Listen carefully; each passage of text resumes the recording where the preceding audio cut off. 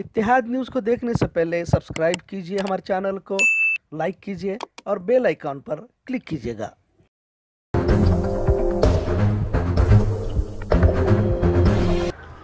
अस्सलाम वालेकुम रहमतुल्लाहि व बरकातुहू इत्तेहाद न्यूज़ में आप सभी का खैर मकदम है। बेलगाम शहर में आजकल झूठ फरेब का कारोबार फलता फूलता नज़र आ रहा है। कौन किस पर भरोसा करे समझ में नहीं आ रहा। यहाँ के लोग भी काफ़ी जज्बाती हैं। इन्हें आसानी से बातों के ज़रिए फंसाया जा सकता है। कई सारे लोग चंदे के बहाने झूठ बोलकर कारोबार चलाते हैं। कभी फर्जी कंपनियाँ भी बनाई जाती हैं तो कभी कभी कोई स्कीम दिखाकर लोगों को धोखा दिया जाता है। हाल ही में एक नया मामला सामने आया है, जिससे खुद पुलिस महकमा भी हैरान रह गया वैसे आजकल ईडी का नाम अक्सर सुनने में आता है। अब तो सरकारी महकमा का नाम ही लेकर धोखाधड़ी के कामों को अंजाम देने की वारदात सामने आई है। ना सिर्फ़ नामों को इस्तेमाल किया, बल्कि सरकारी कागजात और सरकारी मोहर तक फर्जी बनाकर लूटने का काम मधुकर सापड़े, जो शास्त्री नगर बेलगाम का रहने वाला है, इसने इस काम को अंजाम दिया। PNB net life insurance company की फर्जी पॉलिसियाँ बनाकर तकरीबन 26 लाख से भी ज़्यादा रुपयों को छूना लगाया। ईडी मोहकमा से होने की बात कहकर फर्जी नोटिसों के ज़रिए तीन बैंकों के अकाउंट्स को सीज भी किया गया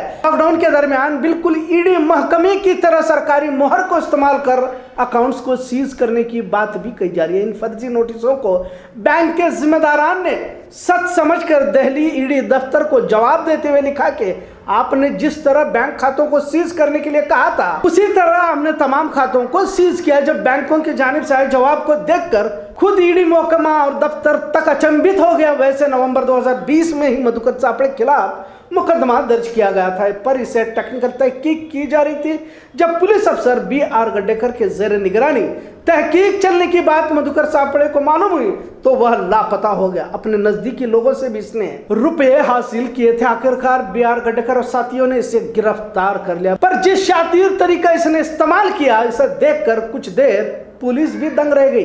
इसके पास फर्जी सरकारी मुहर, फर्जी कागजात को बरामद किया गया है। तफ्तीश जारी है।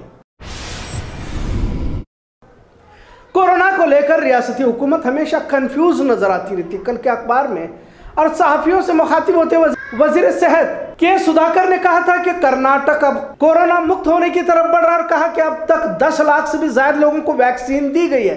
महज एक दिन में रियासत में तकरीबन पचहत्तर हज़ार लोगों को वैक्सीन दी है और कोरोना मरीजों की तादाद भी घट रही लिहाजा जल्द हम कोरोना मुक्त होने वाले हैं। पर वहीं आज हुकूमत की जानब से बड़े मंदिरों को बंद रखने का हुक्म जारी किया जा रहा है। आवाम यह सोचने पर मजबूर है क्या कर्नाटक में मरीज़ बढ़ रहे हैं या घट रहे हैं? सौंदत्ती का मंदिर बढ़ते मरीजों के मद्देनजर बंद करने का फैसला बेलगाम जिला इंतजामिया ने लिया हुआ है। अब सौंदत्ती मंदिर को अप्रैल तक बंद रखने का फैसला लिया जा रहा है, जबकि महाशिवरात्रि के मद्देनजर रियासत के दिगर मंदिरों को खोला गया है और जिसमें हज़ारों लोगों ने शिरकत भी की। अवाम में यह मौजूद जेर बहस है कि तमाम मजाहिब ईद त्योहार का दौर अब शुरू होने जा रहा है। खासकर रमज़ान का महीना भी अप्रैल में है। इसके पिछले लॉकडाउन में भी हमने देखा कि पूरा साल तकरीबन लोग किसी ईद त्योहार से महरूम रहे। महज कोरोना का बहाना बनाकर कभी मरीज़ घटते हैं तो कभी इजाफा होता है कि बहाने मंदिरों इबादत गाहों को बंद करने का फैसला क्यों लिया जा रहा है? आने वाले दिनों में होली शिव जयंती ईस्टर, रामनवमी, अंबेडकर जयंती के साथ और रमज़ान का मुबारक महीना भी आ रहा है। इस महीने में मुस्लिम माशरे के, मुस्लिम समाज के सभी लोग मस्जिदों में इबादत करते लिहाजा कोरोना के बहाने किसी तरह की पाबंदियाँ ऐद ना करें, ऐसा मुतालबा आवाम की जानब से किया जा रहा है। वैसे भी तमाम सियासी इजलासों में हज़ारों लाखों की भीड़ को खुद प्रधानमंत्री और गृह मंत्री जमा कर रहे हैं। पिछले कई महीनों से हज़ारों की तादाद में किसान आंदोलन भी चल रहा है, पर वह किसी तरह का कोरोना नहीं फैल रहा। तो हुकूमत, तमाम मजाहिब लोगों को खुशी से ये त्यौहार को मनाने को दे, ऐसा भी मुतालबा अक्सर लोगों की जानब से किया जा रहा है। वैसे भी वज़ीर सेहत के सुधाकर ने कर्नाटक कोरोना मुक्त होने की तरफ़ बढ़ रहा है सब पहले ही कहा है। पर महाराष्ट्र से आवाम की भीड़ संदत्ति को आ सकती है, इसलिए इसे बंद किया जा रहा है, ऐसा भी कहा जा रहा है। वैसे तो कोई भी महकमा, अब सरकारी रहने के इम्कान बहुत कम है। हुकूमत सभी महकमाओं को बेच रही है। महँगाई बढ़ रही, डीजल, पेट्रोल, गैस के दामों को तारीखी ऊंचाइयों पर बिठाया गया पर आवाम भी सब्र तहमुल का मुजाहरा करती दिखाई दे रहा आखिर किस सुनहरे दौर के इंतज़ार में आवाम है, मालूम नहीं। खैर, एक बार फिर बैंकों के निजीकरण को लेकर पंद्रह और सोलह तारीख को बैंकों की जानब से बंद का ऐलान किया गया। लिहाजा शनिचर से मंगल तक मुकम्मल चार दिन बैंकों के कारोबार बंद रहेंगे।